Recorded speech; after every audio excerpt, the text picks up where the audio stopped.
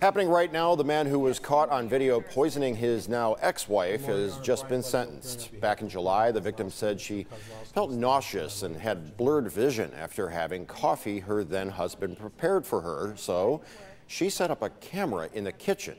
As she suspected, her husband, Brian Kozlowski, was seen on video multiple times pour, pouring diphenhydramine into his then wife's coffee in the morning. He was sentenced to 60 days in jail to be served on the weekend, as well as five years probation.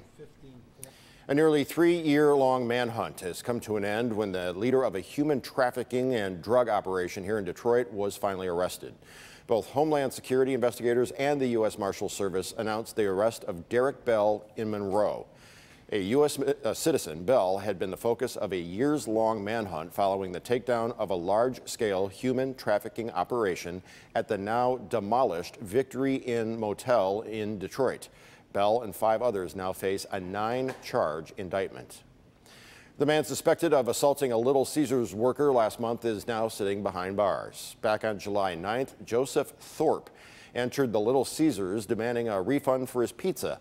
After being offered a replacement pizza or a refund, he slapped the female cashier, knocking her to the ground before being escorted out by a friend.